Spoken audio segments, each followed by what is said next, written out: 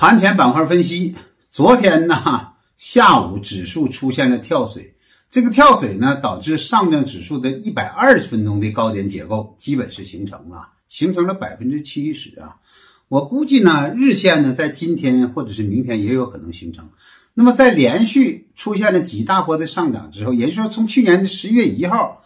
到昨天的这个位置的上涨，已经出现了两次日线的高点结构，但是这次还没有百分之百的形成啊，可能今天或者明天应该能形成。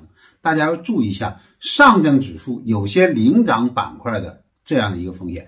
你比如说中字头的建字口的这些东西啊，大家照着就是大基建的方向啊。至于这个金融呢，大金融这块，我认为他们还没有走完，这一颗阴线说明不了什么。所以说要用板块呢区别的加以对待啊。所以说我们来分析下相关的一些板块啊。首先呢，我们说这个证券板块啊，证券板块呢也出现了一个冲高的回落，看午后呢也是一个长长的上影线，但是呢这个地方的突破前期高点应该是有效的，后边呢随着盘整之后。盘整小周期盘整之后的机会还是还要继续向上啊！再有呢，我们说这个稀土，稀土的这个地方的启动呢并不明显啊，但是大家要注意，它筑底没有成功，等到筑底成功之后，你看这样的连续下跌的股票要注意板块上的切换。所以说，你看这是牛市吗？这很显然走的比较弱，但弱不能总弱呀，大家要注意。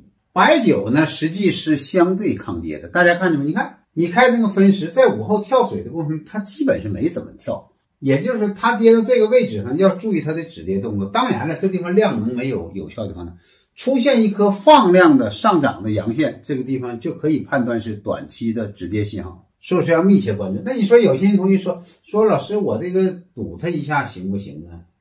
反正你注意这个低点，注意控制风险，也是也是可以尝试的。我们呢是从走势上来判断，没有其他的意思。你比如说像钢铁这样的啊，实际钢铁、煤炭走的比它强啊。钢铁这是一个低点，这次的回落之后呢，二次这个低点如果要确认了，我认为还是可以考虑的。但大家注意，这个钢铁这个地方没啥量，所以说也没啥太大意思。煤炭呢就要比钢铁强多了，看见没？煤炭大概率这个反弹应该是还没有结束呢啊！实际房地产呢，昨天的走势呢，实际是上冲的，是不是？它这里面有个股的机会啊，但是现在说房地产说筑底了，马上就筑底了，现在这种迹象还不明显啊，只是按个股的行情考虑考虑还可以，这个板块机会不大啊，等到有大机会前我们再来点评。再说说这个软件啊。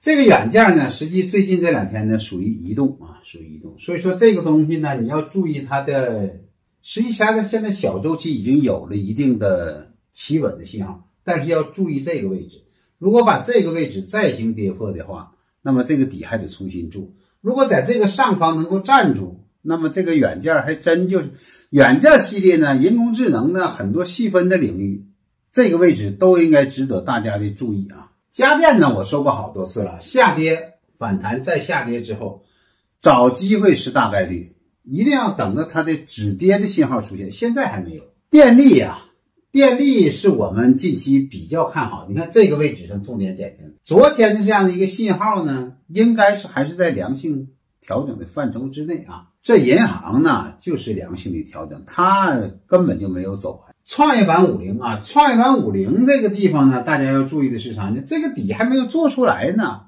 还早呢。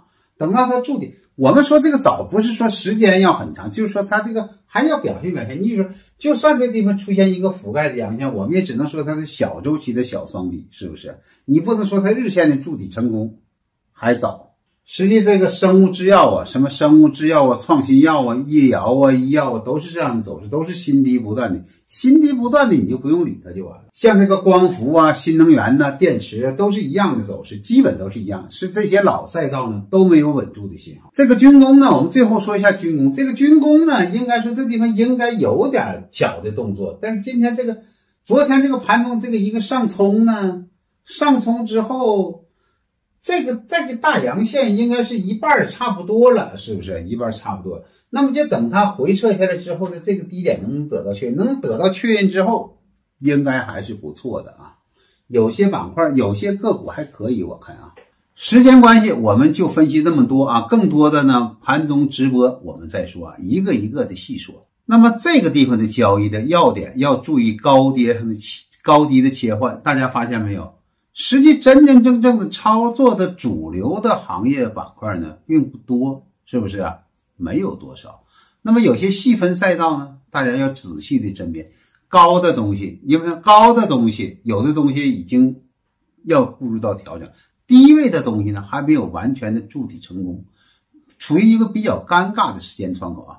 大家这个地方呢，指数上的走势呢，还是要注意上证指数的日线的高点形成，这是我们今天、明天重点观察的方向啊。